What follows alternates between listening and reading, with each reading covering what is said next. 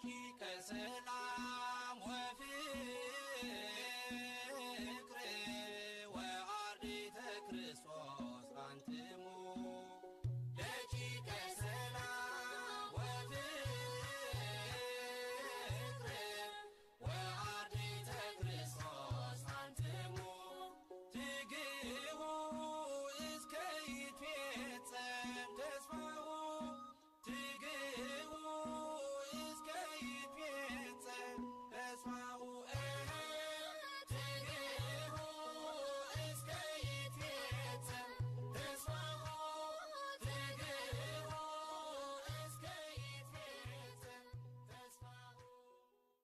በስመ አብ ወወልድ ወመንፈስ ቅዱስ አሃዱ አምላክ አሜን። ሰላም ጤና ይስጥልኝ። ከአውደ ጥናት ነው። በመጽሐፍ ቅዱስ ጥናት ትምህርታችን ባለፈው ስለ መጽሐፈ ነገሥት አንደኛ ተምረናል። ዛሬ ደግሞ ስለ መጽሐፈ ነገሥት ሁለተኛ እንማራለን። ይህንን ትምህርት የማስተምራችሁ ከመጽሐፍ ቅዱስ ጋር ይተዋወቁ ከሚለው ሙሉ የመጽሐፍ ቅዱስ ጥናት መጽሐፌ ውስጥ በመውሰድ ነው። ስለዚህ መጽሐፉን ለማግኘት ከዚህ ቪዲዮ መጨረሻ ላይ ያሉትን መረጃዎች ተጠቀሙ። መጽሐፈ ነገሥት ሁለተኛ የመጽሐፉ ጸሐፊ የተጻፈበት ዘመንና ቦታ፣ ጸሐፊው አልተገለጠም ማን እንደሆነ። በቀደምት ትውፊት አንደኛና ሁለተኛ ነገሥትን ነቢዩ ኤርምያስ እንደ ጻፋቸው ይታመናል። ታሪኩ በ853 እና በ586 ዓመተ ዓለም መካከል ያሉትን ክስተቶች ስለሚያጠቃልል ከባቢሎን ምርኮ በኋላ ባሉት ጊዜያት በአንዱ በእስራኤልና በይሁዳ ምድር እንደተጻፈ ይታመናል።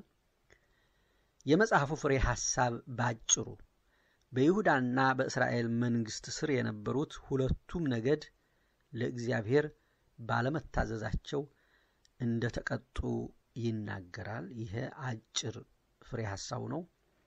የመጽሐፉ ጠቅላላ ይዘት በአጭር ትንታኔ ታሪኩን ከአንደኛ ነገሥት የተወሰነ ይዞ ለምሳሌ ስለ ብዙዎቹ መጥፎ መሪዎችና ስለ አብዛኛዎቹ መልካም መሪዎች ታሪክ፣ ስለታወቁት ነቢያት እንዲሁም ስለ ሁለቱ የእስራኤል ሕዝብ ጥፋት በመናገር ይጀምራል።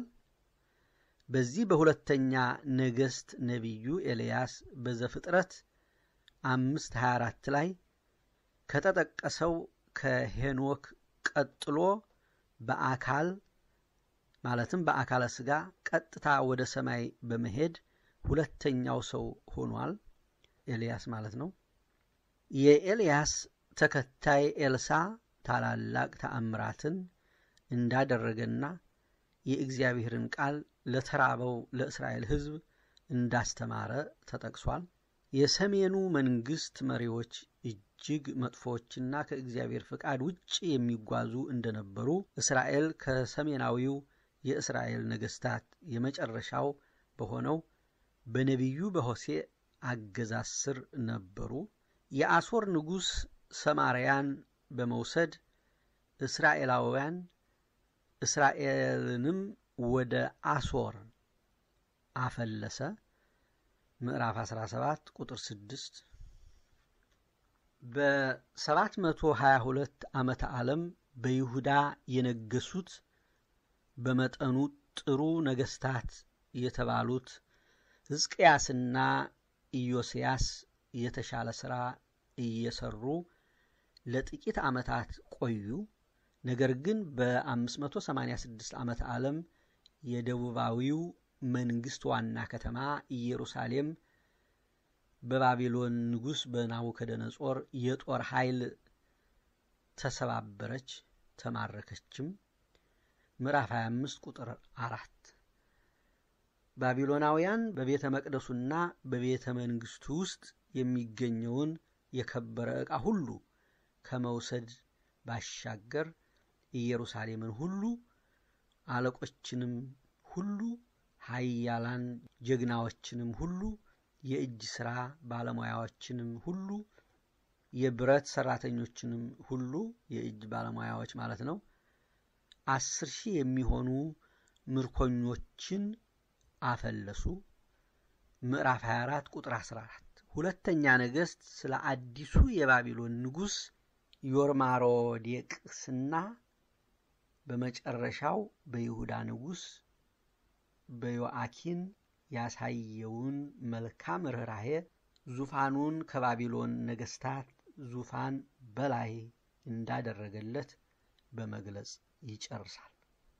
ምርጥ ጥቅሶች እነሆ የእሳት ሰረገላና የእሳት ፈረሶች በመካከላቸው ገብተው ከፈሏቸው።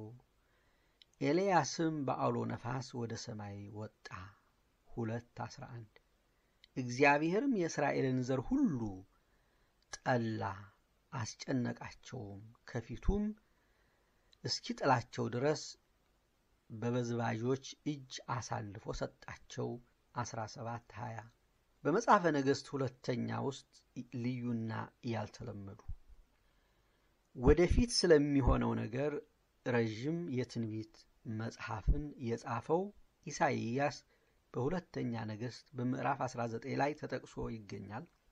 ከደጋግ የይሁዳ ነገሥታት አንዱ የሆነው ኢዮስያስ በነገሰ ጊዜ የስምንት ዓመት ዕድሜ ብቻ ነበር። 22 አንድ የመጽሐፉ መልእክት ሁለቱ ይሁዳና እስራኤል የኀጢአትን አስከፊ ውጤት አወቁ። እኛም መጥፎ ውጤትን ሊያስከትሉብን የሚችሉትን ነገሮች አውቀን ከመስራት ለመታቀብ መጥፎ ምሳሌም ቢሆን በተግባር ሳይሆን በታሪክ ማወቁ እጅግ ይጠቅመናል። ልዑል እግዚአብሔር ማስተዋሉ ያድል።